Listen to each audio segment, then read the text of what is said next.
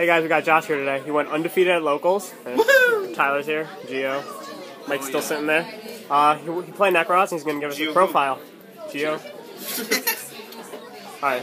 Alright, so uh, let's get started with three Nekroz of Brionac. Uh, if you don't play $210, you're not going to win. And then you need three Valkyries because ending the battle phase is really good. And I don't play two because I always need the third one whenever I'm grinding out in the mirror match. Talk later. Uh, three Unicorns because Unicorns is the best card in the deck, next to Brionac. Gungnir, and the other two One-Os because if you play any less, you probably won't win. So why don't you play uh, the big guy? Decisive armor? Oh, yeah. Decisive armor. Decisive boot. Decisive Armor is terrible to draw because he doesn't advance your game state in any way. Oh, good to know. Except, uh, even though Gungnir doesn't, he keeps your stuff alive, which you need. a lot of times. Wins your games. And when you summon him, he's just, he's unkillable sometimes. Yep. Uh, six Searchers. Although I really hate Senju because, Because he's common. well, that too, but he's only he's only good for game one in the mirror match. Other than that, like, you'd rather have all your side deck cards. I always side him. I always side two or three out. Uh, I played all three of these Nekroz guys. I play this because it's really good. I don't know, I like it a lot. And then uh, two shirts because everybody plays Do you ever side out Dance Princess? I always keep in Dance Princess, but like whenever I'm playing the mirror match, sometimes it comes out if I feel like I need the upstarts. Uh, and then I play the six summoners, two shared rides for the mirror match, and sometimes it's good against Abyss because like when you ride Geki, you're gonna draw two cards. Uh, three upstarts because I don't know. I don't like playing like Book of Eclipse just because it's another card that sucks. It doesn't get you anywhere. Uh, Book of Moon because it's a blowout card. Three blowout cards.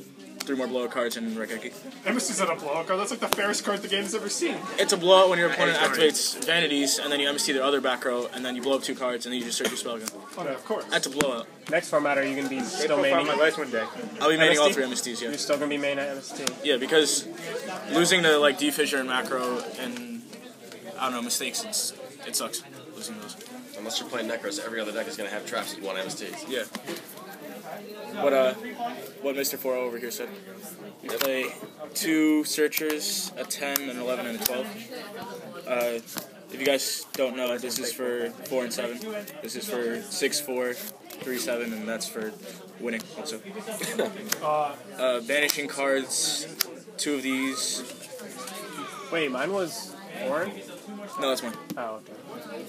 One draw card, one nuke, one destroy. That card sucks. Don't play that card. I don't have um, a Castel. That card sucks. too, don't play that. I don't have one on one. That's good and that's good. And then the side deck, uh, my original side deck that I didn't copy from anyone, I swear. Three Twisters. Uh, if you're me, you draw all three of these and then lose. But Twister's really good against Yosenju, and obviously cleave for it. Two Hobby League Kaikus because I like to draw Kaiku. and then, uh, except when I'm playing the mirror match because that's when I can't draw it. Two Dankos because Danko's the nuts. Danko's Danko. Yeah, Danko's Danko. Four hands. Uh, one Spanish Mind Crush because that one's not Spanish. I don't know. And two Vantage. And uh, that's it. Those are all the cards I play. I play a total of 70 cards, so you better get your sleeves ready, boys. Alright, so after playing today, would you make any changes to the deck? Uh, well, not. No, I probably wouldn't change anything. he'll still Except- play three Brio next format. Yeah. Well, Three, three prep. I don't play Jin because Jin doesn't advance your game state either. It's like it's like you're basically waiting for your opponent to win because your hand's not good enough, or like yeah, it's a complete blowout. But at that point, if your hand's good enough, you'll just win anyway. And uh, I don't like losing the Book of Eclipse because the card sucks anyway. But I just hate losing that too. Uh, you didn't main any hand traps either. How do you feel about hand traps in format? Uh, you don't need Maxi, you don't need Valor because they both suck against Cleaver, and that's your worst matchup. Uh, like same thing with Yosenju, they they don't do anything to floodgates, and this is just a blowout in the mirror match, so you need those. But I mean, you don't need these in the main deck, but I'd rather not waste a side deck spot on this when I can side other cards that are good when I go first, because my opponent always makes me go first. Is this the same build you took to Connecticut? Yeah, which I only lost because well, I only lost round five because my hand was that, uh, that, and three twisters going first. So I don't know how you're supposed to win with that unless you're really good.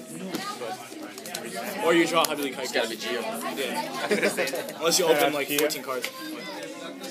Yeah, that's it. Uh, oh yeah, Geo sucks too. So How did Geo do uh, Connecticut? Geo was uh, How'd you do it, Kyle? Screwed by the judges. He yelled at a judge. He spit went on, off on him. and then he spit on. literally He spit him on uh, Jim. So Jim punched him in the face. Did that really happen? No, I really hope that. Gio's banned from every tournament for spitting on a judge. That's fair. Well, thanks, Josh. Uh, thanks for your profile. We'll be back next week with some more videos, guys.